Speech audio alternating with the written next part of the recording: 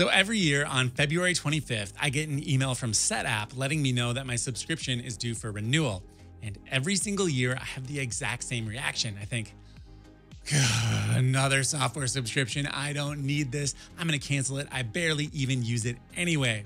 And I do so. I go over to the SetApp website and I cancel my account, only to realize just a little bit later that so many of the apps that I'm using are part of SetApp. And if I were to replace them on an a la carte basis, it's gonna cost me way more money than just to pay for the SetApp subscription. So this video is a reminder to my future self, as well as a message to anyone else who might be wondering, yes, SetApp is worth it. I'm gonna explain why in this video. This is Dave's Toolbox, and today I'm talking about SetApp. Now, if you clicked on this video and you're not really sure what Setapp even is, let me explain it to you. It's a subscription, about 10 bucks a month, depending on what plan you get, that gives you access to 240 apps on your Mac. There are a few iOS apps sprinkled in as well, but it doesn't work unless you have a Mac because the way you install the iOS apps is through the Mac. Now, I'm going to show you exactly how this software works, and then I'm going to go through the value adds, the things that make SetApp absolutely worth 10 bucks a month. So Setapp in and of itself is an app that you install on your Mac and is essentially like an alternative app store, except it's not so much like the Apple App Store as it is Apple Arcade. I use Apple Arcade for my kids. I know I can send them there. They can play around, install anything they want. The worst thing they're going to do is fill up the hard drive of their iPad. But they're not going to cost me any money. I'm not going to get a ton of requests for in app purchases. And I feel the same way about SetApp. I know I can go on here, I can browse around, and it's not going to break the bank. I'm going to pay 10 bucks a month, and nothing else is going to hurt me. So if you are a let's say app addict like I possibly am, SetApp can be a really great way to experiment and play around with new tools and not worry so much that you're going to end up spending more than you initially set out to. So the home screen of Setapp is filled with similar types of things like you might see on an Apple App Store. We've got recommendations, different collections, and my favorite place to hang out is down here on new arrivals. SetApp adds about one to three apps per month, maybe more, maybe less. I think they always add at least one. And I love to just go and install the newest stuff, find out if I like it, and if I don't, it's super easy to remove.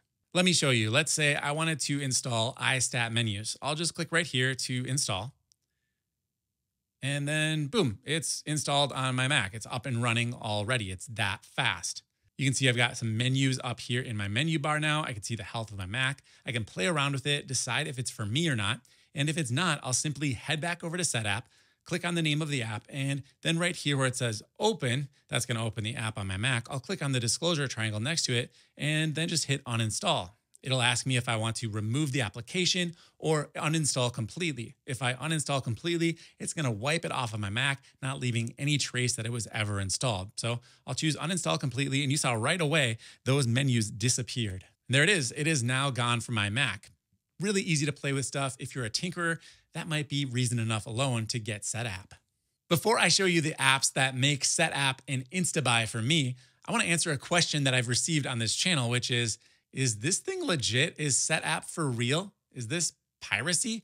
No, it's not piracy. It's absolutely legit. SetApp was created by some actual Mac developers who got together, I suppose, with all of their other Mac developer friends and decided to pool their software together in order to make their offer a little bit more attractive. The developers that make SetApp, we scroll to the bottom of their website here, are called Mac Paw. And here is their little credits in the footer here. If I click on this, it's going to open up the MacPaw website, and they might have some applications you've actually heard of before, even if you've never used SetApp. Here's their current catalog of apps. They've got CleanMyMac X, which I use all the time. And they've got ClearVPN, which is a pretty decent VPN option. And they've also got something called Gemini 2, which is to find duplicate files or duplicate photos inside of your Mac. And they actually put their money where their mouth is because all three of their Mac apps are available on SetApp. If you were just to total these up, it's $35 a year for Clean My Mac X, $20, uh, $21 every six months for ClearVPN, and $20 a year for Gemini. Wow, you're getting pretty close to the cost of a SetApp subscription. There's 35 for CleanMyMac X, 42 for ClearVPN because it's 21 times 2 and then 20 bucks for Gemini. That's $97 a year right there. Now, I'm not going to include this inside of my list of must-have apps because these are nice but not ones I would die without. The first app that I absolutely need and recommend you check out is called Ulysses. Now, Ulysses is a word processor that really excels at distraction free writing and writing long form content, things like online course scripts, blog posts, any sort of series that you want to put out repeatedly, like a newsletter. It's really great to write inside of Ulysses. If I head over to their pricing page, it is currently $40 per year. I would add that to my tally, so that's going to take care of January, February, March, and April of my Setapp subscription. Here's what one of my long form posts looks like inside of Ulysses. Now, what I really love about it is that it's completely distraction free if I want it to be. There's no menus to get in the way, and I can write in Markdown, which is really quick and easy to write exactly what I want. You can see I've included external links here. I've got images embedded. Writing things like headlines is very, very easy. You just use some characters on your keyboard. It only takes a few minutes to master, and you'll be writing like a pro inside of Ulysses. When you're all done, you can actually publish directly from Ulysses to the web if you'd like. Click right up here on the double arrows, and then it's going to pop open this preview of what your post will look like without all of the markdown. And you can see all the screenshots in full size here. It looks really good. If I wanted to post this to my website, I'd simply click up here. It would say upload, or it says update right now because I've already posted this one. And I can go ahead and connect a different platform right over here. Choose manage accounts. And then if I hit this plus button, I'll see that Ulysses works with WordPress, Medium, Ghost, and Micro.blog. So that's Ulysses. If you want a deep dive into Ulysses, let me know in the comments down below and maybe I'll make a dedicated video. Next up is Paste, a clipboard application. Sounds so incredibly boring, but you know what? Paste changed the way I use computers when I began using it several years ago. It's absolutely transformational. So let me show you how I use Paste in my everyday workflow. First of all, I can activate paste with a key command, Shift Command V, or I've also assigned that to be my middle mouse button on my mouse. So I simply tap that and now paste is available. I get a list of my entire clipboard history dating back as far as I want. You can literally set it to be unlimited if you want.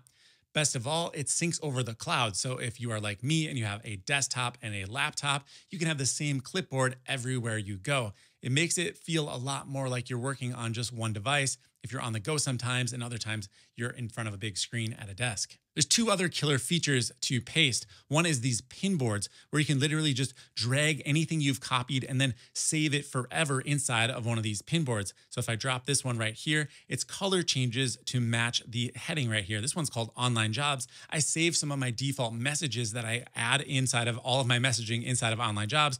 Right here, I can easily use this as a starting point to customize my replies or have a pinboard for Final Cut Pro, which is not actually copying and pasting anything like text. It's actually copying and pasting titles or effects inside of Final Cut because literally anything you copy can be saved to a pinboard. That includes images. The last killer feature of Paste that I want to show you is called Paste Stacks. I activate this with another key command, Shift Command C. I get a paste stack right over here and move it around if I want. But now what happens is anything that I copy will live in that paste stack and I can easily grab a ton of different information to then put it on a different page. So for example, I've got a list of different DNS entries here. If I wanted to copy all of these individually and then put them over in Cloudflare, I'd have to go click, change tabs, paste it in, come back to this tab, and then click to the next one, paste it in. Well, the way paste stacks work, and you can see over here, I've got my first entry. I can simply go in order, copy them all. I've now got a complete set of CNAMEs. Here's my MX record, and here is my text record. All of this is saved to my paste stack. I could simply go over to Cloudflare, and it's just gonna fire things off in order.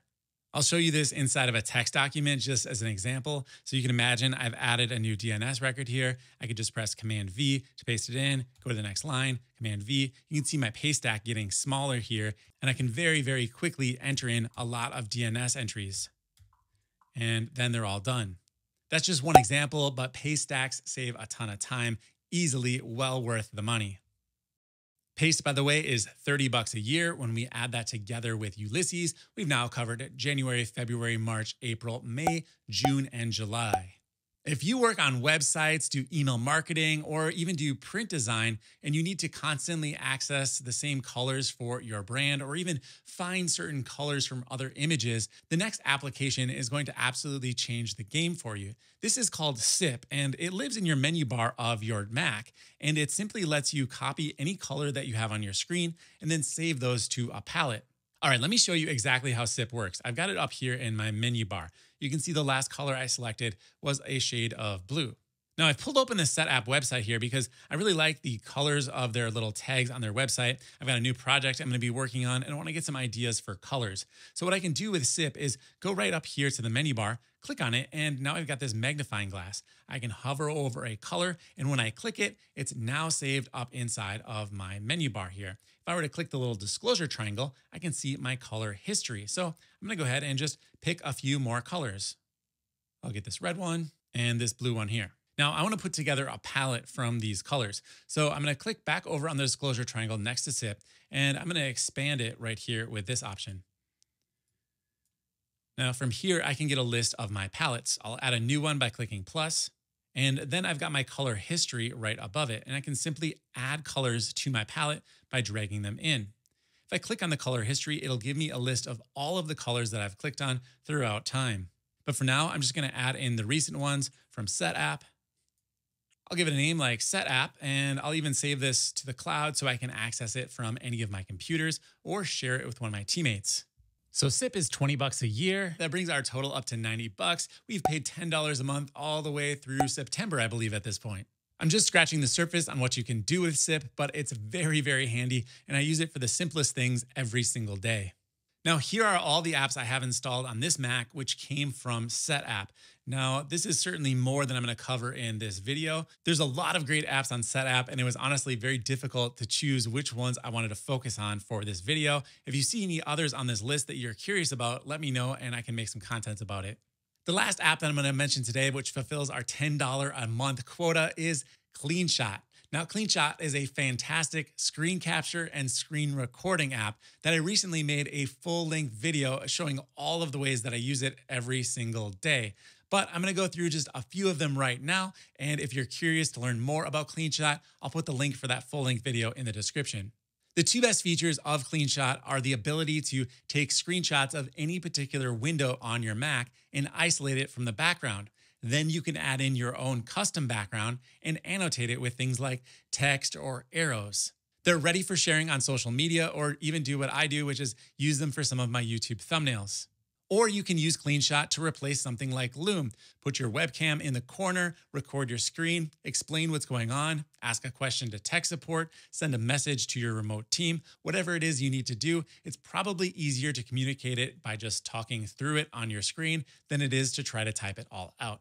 So CleanShot is absolutely amazing and I use it every single day. I really couldn't live without it. If you get CleanShot through SetApp, you get a 10 gigabyte cloud plan so you can upload up to 10 gigabytes worth of videos, all included in the SetApp subscription. Now, normally CleanShot is available for a one-time payment that doesn't really include much of a cloud account at all. It's only one gigabyte or you can go up to their Cloud Pro, which is 10 bucks a month if you pay annually, so 120 bucks a year. And here you're going to get unlimited uploads, but like I mentioned in my full-length CleanShot video, I don't really worry about capacity and I've never even come close to filling up the amount that they give you if you just follow a few little tips like having videos self-destruct because you probably don't need those to live on forever anyway.